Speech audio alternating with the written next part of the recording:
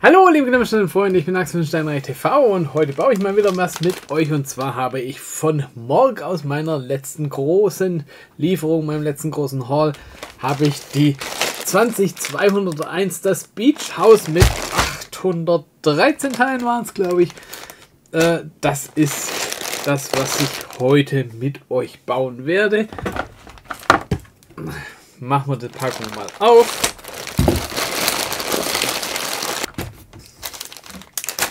So, da liegt es jetzt vor uns. Wir haben die Anleitung im Halbformat. Es ist wohl ein 3 in 1 Set, wie wir es von Lego kennen. Ich werde dieses Haus bauen. Dieses hohe, das finde ich jetzt nicht so spannend und das breite vielleicht, ja, aber ich denke, ich werde dieses Haus bauen. Das ist schon äh, aus gutem Grund das, das äh, Hauptmodell. Ähm, ich werde mal gucken, wie, wie aufwendig es wäre, das umzubauen, aber wahrscheinlich äh, müssen wir da alles zerlegen. Ähm, und ich glaube, das mache ich jetzt für das Video nicht, aber grundsätzlich finde ich es ja eine schöne Idee, dass die anderen Hersteller dieses 3 in 1 Konzept durchaus auch aufgreifen und äh, da verschiedene Varianten anbieten und damit äh, ja den, den Bauspaß für zumindest für die Anleitungsbau auf jeden Fall ähm, deutlich erweitern. Wir haben einen kleinen Stickerbogen. Ja, schauen wir mal, ob wir es ob aufbauen, äh, äh, aufbringen. Wir haben zwei Bauabschnitte, also nicht wahnsinnig viel. Neu gebautes wird komplett ausgegraut. Äh, nein, altes, neu gebautes ist farbig und so weiter. Wir haben 114 Seiten. Wir scheinen irgendwie eine Beleuchtung dabei zu haben. Hm, habe ich noch nicht gesehen. Und wie sind das hier?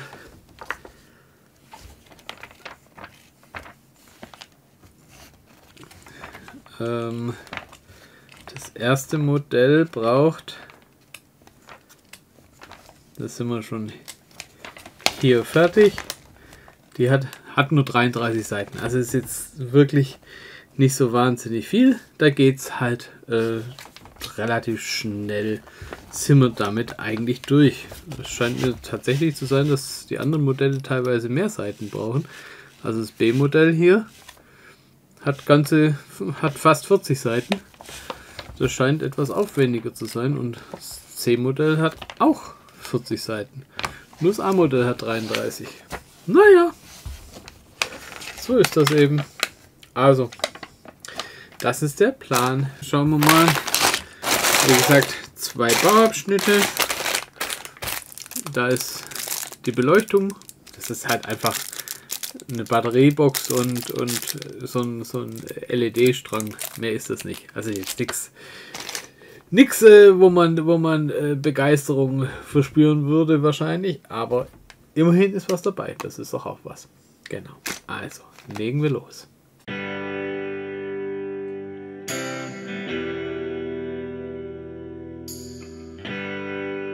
So, ganz kurzes Zwischenvideo. Ich habe jetzt hier mal die Grundplatte gebaut. Das ist ein bisschen erhöht. Ähm, haben wir hier so ein kleines Podest gebaut hier für das eigentliche Haus. Dann haben wir hier einen Tisch gebaut mit einer Glasplatte. Dann hier sowas, sowas wie eine Bar mit Hockern. Oder auf jeden Fall so ein Tresen. Was das da ist, weiß ich noch nicht. Ja, das scheint mir eine Lampe zu sein oder irgendwas. Hier haben wir zwei Frösche. ähm, ja, was alles so genau darstellen soll, ist teilweise mir nicht ganz klar. Ähm, hier sind natürlich auch nochmal Barhocker.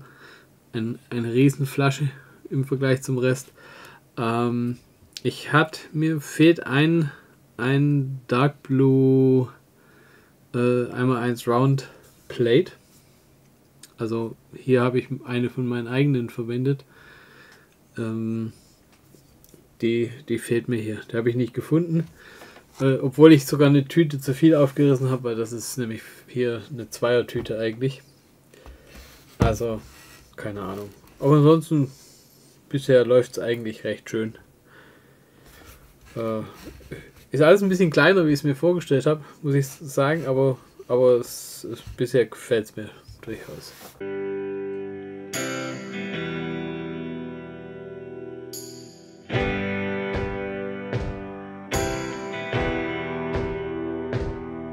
So, der erste Baumschnitt ist jetzt fertig. Ich habe jetzt hier das Erdgeschoss fertig. Hier vorne sehen wir auch schon die ersten zwei Aufkleber. Hier die Karte und hier äh, einmal ein Cabin, das oben drüber steht. Also es, hier gibt scheint was zum Essen zu geben. Äh, und hier ist auch die Ausgabe. Hier haben wir ja, wie gesagt, diesen Tresen, den wir gebaut haben. Hier draußen sind ein paar Hocker und hier auf der anderen Seite auch. Ähm, das sind Drucke hier auf den Fahnen. Das sind keine Aufkleber. Und ansonsten, so sieht es jetzt hier aus. Hier kann man reingucken von der Seite. Da hinten ist also offen. Und da oben haben wir eine Möwe drauf und so weiter. Also ja, schön gemacht. Ähm, ja, in dem Fass sind die Sachen natürlich nur reingestellt. Da brauchen, wenn man das natürlich umkippt, dann kommen die raus. Egal. Mal wieder rein. So, so sieht es bisher aus. Also, baut sich, baut sich soweit schön. Bin, bin zufrieden. Aber klar, es ist weiterhin dieses, äh, man merkt, dass es, ähm, dass es viele kleine Teile sind und äh, die vielleicht deswegen gewählt worden sind, weil man dann dadurch die besser die, die B- und C-Modelle bauen kann. Äh, teilweise würden sich größere Plates und Bricks anbieten, aber die werden halt nicht verwendet. Ähm, ich, wie gesagt, ich nehme an aus dem Grund, weil für B und C Modelle halt die kleineren gebraucht werden und man mit den äh, oder mit den kleineren einfach flexibler ist. Genau. Also weiter geht's mit dem Obergeschoss.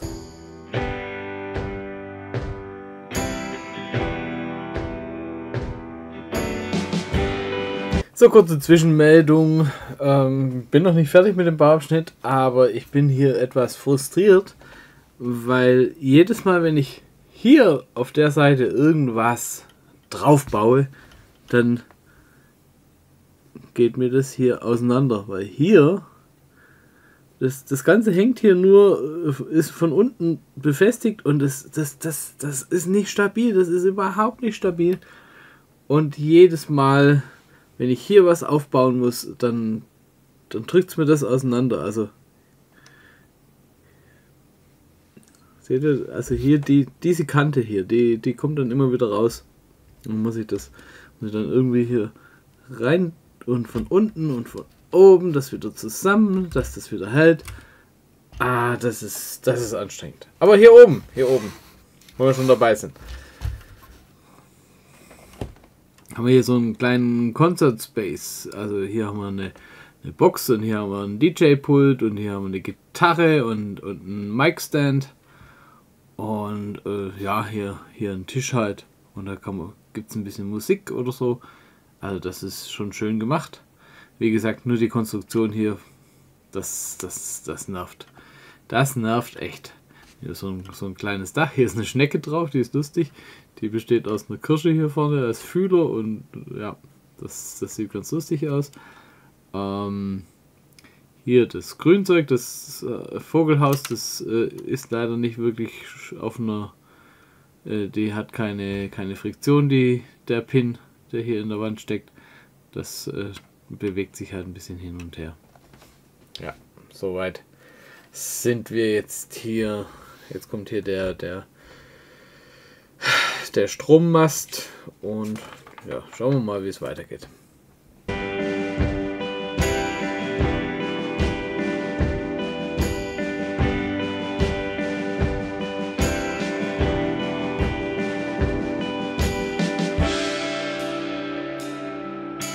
Und fertig ist es das Beach House D20201 von Morg oder X-Morg, ich weiß gar nicht, äh, es heißt glaube ich X-Morg, aber ich sage es immer Morg dazu.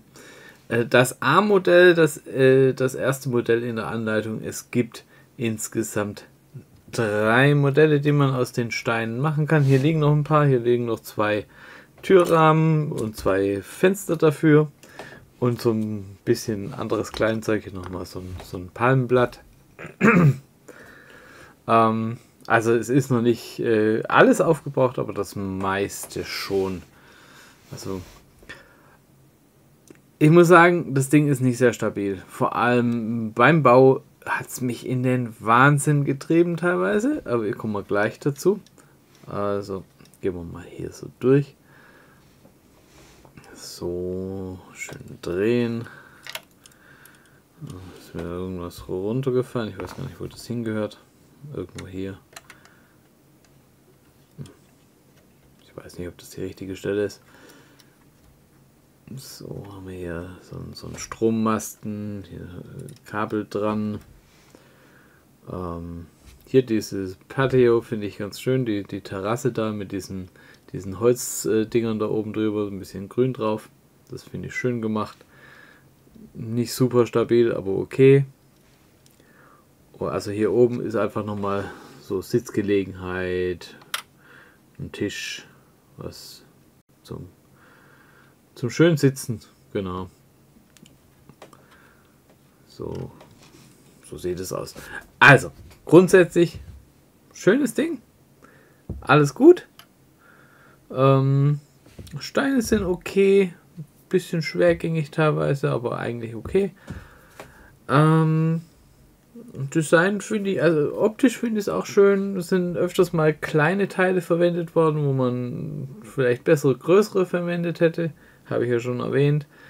Ähm, ob das daran liegt, dass, dass die damit noch B- und C-Modell bauen müssen und deswegen die kleineren Steine gewählt wurden oder weil man die, die Teilezahl in die Höhe treiben wollte oder weil man den Effekt haben wollte, dass da, dass da ähm, Unterbrechungen sind, dass es mehr wie ein Mauerwerk wirkt oder sowas. Das kann ich natürlich jetzt schwer beurteilen, ich stecke nicht da drin aber es macht das Ganze teils sehr instabil. Wie gesagt, ich habe da unten hier diese Plate, die wird nur von oben gehalten und jedes Mal, wenn man von oben was drauf baut, sackt die runter. Ist, ist ein Problem. Muss, wenn man weiß, kann man versuchen, hier immer dagegen zu halten. Geht nicht so ideal, weil äh, die Steine teilweise ein bisschen schwergängig sind. Wenn das jetzt leichtgängige Steine gewesen wären, hätte ich da wahrscheinlich überhaupt nicht groß drüber gemeckert. Aber in dem Fall, weil man richtig mit Kraft andrücken muss, ist es ein Problem. Das gleiche gilt hier für diese Dächer, die auch mit Kraft in, in die äh, Seaglamps äh, reingedrückt werden müssen. Also hier oben äh, sind vier Seaglamps, die das Dach halten. Mir ist das Dach äh, das Stockwerk drunter zerbröselt. Da habe ich echt geflucht, weil ich auch nicht wirklich eine Möglichkeit hatte, das äh, vernünftig festzuhalten, um das zu verhindern. Geht schon, aber es, es sollte eigentlich nicht so, äh, so zerbrechlich, so instabil sein bei einem Set, das kommerziell verkauft wird. Ist mit meiner Meinung.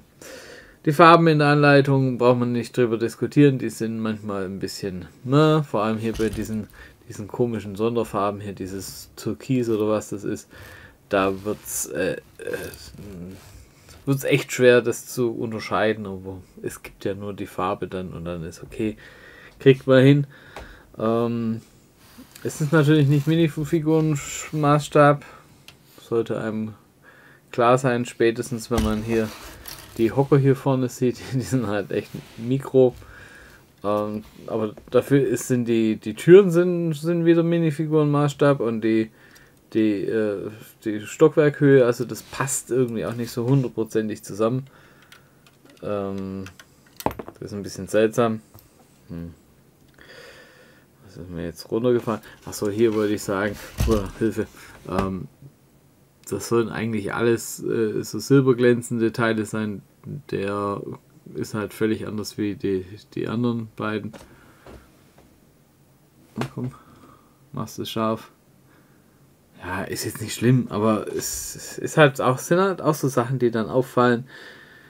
Und dann denkt, ah, jetzt auch nicht ideal und so.